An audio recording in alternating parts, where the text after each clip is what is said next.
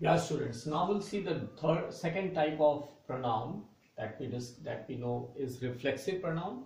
Reflexive क्या होता है एक ऐसा pronoun जिसको हम जब सेंटेंस में सब्जेक्ट और ऑब्जेक्ट दोनों एक ही पर्सन हो तो वहाँ हम रिफ्लेक्सिव प्रोनाउन का इस्तेमाल करते हैं है ना यानी a pronoun that reflects the subject ऐसा कह सकते हैं ऐसा प्रोनाउन जो सेंटेंस में सब्जेक्ट को ही रिफ्लेक्ट करता हो that is known as reflexive pronoun यानी कंडीशन यह है कि इस प्रोनाउन में सब्जेक्ट और ऑब्जेक्ट दोनों एक ही पर्सन होगा।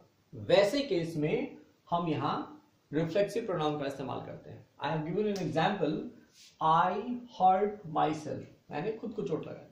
ठीक है?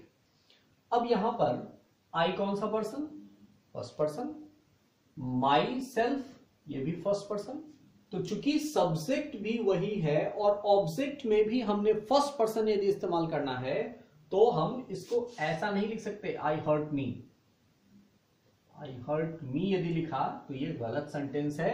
रीजन कि यहाँ जब सब्जेक्ट और ऑब्जेक्ट एक ही पर्सन होता है तो we are using reflexive pronoun instead of any other pronoun right so this is a very specific pronoun where we are saying that when the subject and object both are of the same person we are using reflexive pronoun. See, you have made food yourself. तुमने खुद के लिए खाना बनाया। ठीक है? I hurt myself मैंने खुद को चोट लगा दी। ठीक? यहाँ पर यहाँ पर सब्जेक्ट और ऑब्जेक्ट चूँकि एक ही पर्सन है, इसलिए हमने रिफ्लेक्सिव प्रोनाउन का इस्तेमाल किया है। ठीक? The next one is emphatic pronoun ये प्रोनाउन भी बिल्कुल रिफ्लेक्सिव के जैसा ही है।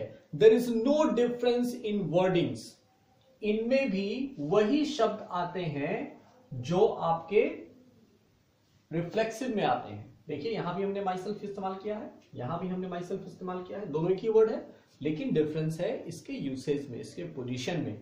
इंफेटिक प्रोनाउन है क्या फिर?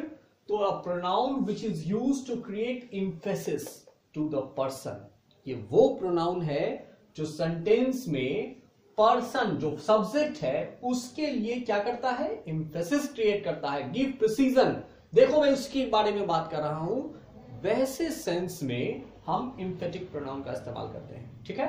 Let's see you yourself know the fact तुम खुद ही सच जानते हो। तो यहाँ पर सेकेंड पर्सन यू जो सब्जेक्ट है, उसको ज़्यादा इंफेसिस किया जा रहा है। तो हमने कैसे लिखा? यू कॉमा दिया देन आई राइट योर ठीक है? तो you yourself know the fact I myself reach station मैं खुद ही स्टेशन पहुँच गया। यहाँ पर इस सब्जेक्ट को ज़्यादा इंफोसिस किया जा रहा है, ज़्यादा उस पर प्रिसीजन दिया जा रहा है, ज़ोर दिया जा रहा है। So we are using the same subject the same person as the helping word that helps this word to create precision to create emphasis such word is known as emphatic pronoun ठीक है? दोनों में words एक ही हैं but the position are different and they creates a different meaning in the sentence so these are the two different words I want you to note down these two things and will discuss it for